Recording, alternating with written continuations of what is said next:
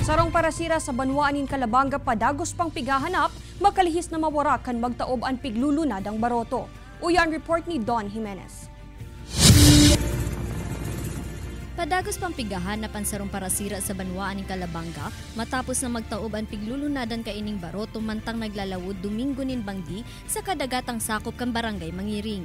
Sigun sa pulisya, lunes na aga na kan mag-report sa saindaan pamilya ni Ronel Año 20 anyos, na ininawawara alagad nakasalbar ang duwang kairiba. yung pakataob ng bangka, ah, nag, nagano sila, nag-exert pa sila ng effort na hanapin yung ano, yung kasama nila. Kasi iniisip nila mang nasa may Kawit Island lang. Tulos man na nagrespondi ang PNP, Maritime Law Enforcement Team asin Bantay Dagat Kalabanga, kaibanan ang PCG tanganing hanapon na nawawarang parasira. mayo man pong gilwanin kay itong nakakuha nito. Tapos harani man lang po sinda dito ni ma'am sa may ano sa may barangay halos mga 1.5 kuan lang nautical miles awi dito sa shoreline ng barangay Mangiring.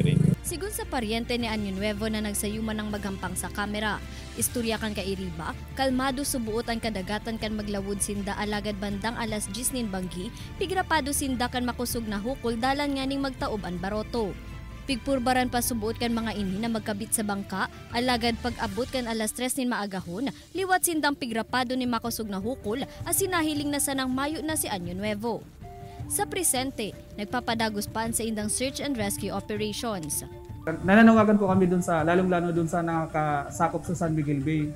Ah, may mga munisipyo dyan na ah, malalapit, kagaya ng Kabusaw, Kalabanga, ah, Tinambak, Siruma, and then kung makadating po sa parting ano, Mercedes, Camarines Norte, na ipagbigay alam nila po dito sa Kalabanga.